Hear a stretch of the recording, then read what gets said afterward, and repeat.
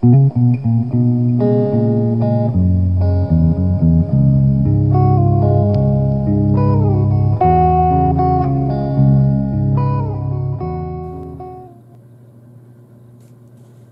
guys, we finished the art journal in the box.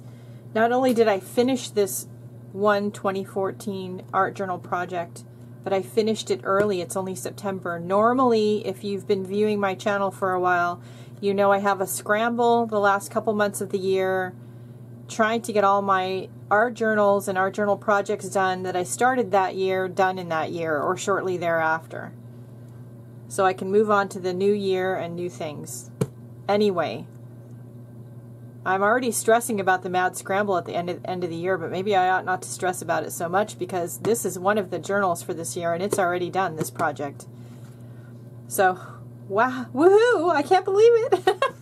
so, I'm going to show you a flip through of the box. This is the box, first of all. I have gotten a lot of questions lately about the box. There's some new viewers. I have created an art journal and a box playlist, so go back in the list and somewhere is the video where I actually create the box and I show you the box. But here is the box. It's held up pretty well. And I'm going to show you all of the art journal pages that are in here. There we go. So I created this tab of painted paper so I could pull the pages out because they do fit in here kind of tightly. And of course you could do this if you're doing one of these boxes. You could definitely do it with a piece of fabric or ribbon or something. I chose to just do painted paper. And I just lift up on it, give it a little bit of a gentle tug, and all the pages come right out. And it's just glued in right here. So it works just great. So here are my pages, and we're going to actually flip this over and I'm going to start from the beginning. So I started this project in January of this year. Here's the first page that I did. Stop and smell the flowers. I, I've forgotten what some of what I've done for this box, to be perfectly honest with you. I didn't date stamp them, but I did start off the year putting the date on them. And I did sign some of these. I haven't signed them all. Live, laugh, love. That's a cute one. I forgot I did that one.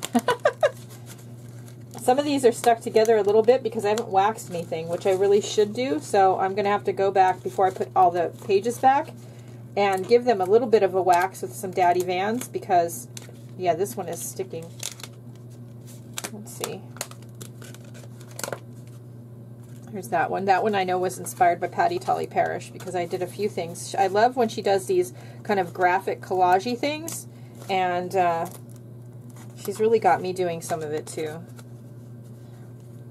That one's pretty. Now is the time for peace in your life go along with others' ideas.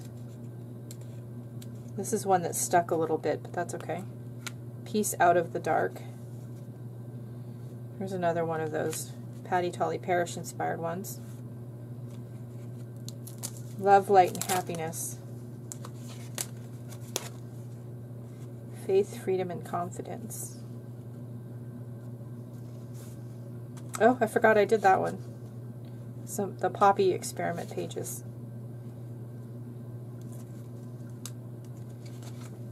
So whether you're working loose or you're working in an art journal book, it's a good idea to wax your pages or something when you're done. Use clear gesso, something, because otherwise the some of the mediums and some of the acrylic paints will stick to the paper from the other page.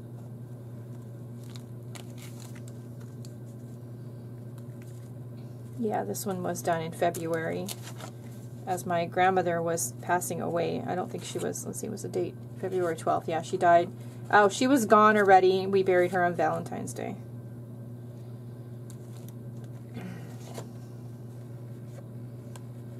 That was cute. She was gifted to me in some Happy Mail. She's really cute.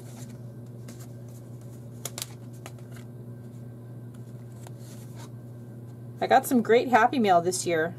I can't wait till at the end of the year we'll do this kind of a flip through of the Rolodex cards that I've created for this year. I'm going to keep doing the Rolodex cards next year, but I'll do a flip through of the ones I have created for this year. But I've gotten some great happy mail from you all, and it's they've made some really great cards. And it's nice for me to be able to break out of my painterly box and do some collage um, work in this kind of a grungy style It keeps, you know, keeps my mind fresh and I don't get stuck in a rut. I like this. It's a good when you like your own work, I think. Ah, I surprise myself sometimes.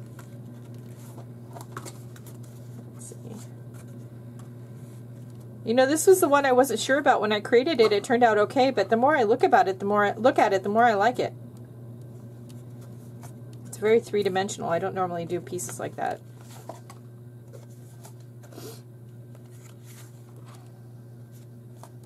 This one's so pretty. I love that way that came out. These are the two I did today. This one and this one.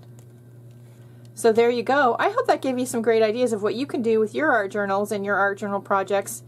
And go out, have a great day, do something nice for yourself because you deserve it, and I'll see you later. Bye.